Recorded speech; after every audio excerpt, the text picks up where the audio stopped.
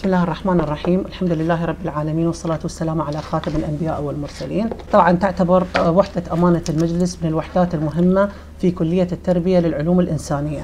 يتضمن عمل هذه الوحدة الإعداد والتهيئة لعقد مجلس كلية بشكل دوري حسب الفقرات المعدة سابقا. طبعا هاي آه هذه الفقرات يتم الاتفاق عليها في مجلس الكلية. آه وتخص الشؤون شؤون طلبة الدراسات العليا وشؤون الطلبة والشؤون العلمية والترقيات العلمية.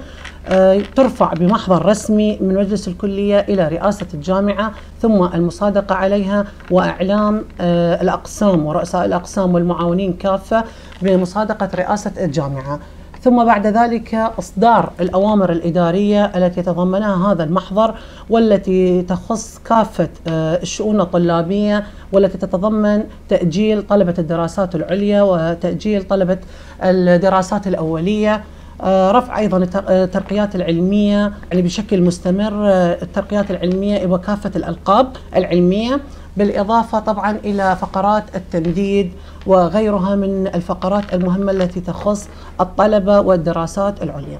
ويرتبط عمل وحدة أمانة المجلس مع وحدات وشعب الكلية كافة فالعمل متواصل ومستمر مع هذه الوحدات بشكل يومي وفي الختام نتقدم بالشكر الجزيل إلى عمادة كلية التربية للعلوم الإنسانية لدعمها المستمر للشعب ووحدات الكلية كافة ونسعى دائما إلى تقديم الأفضل للتدريسين والطلبة كافة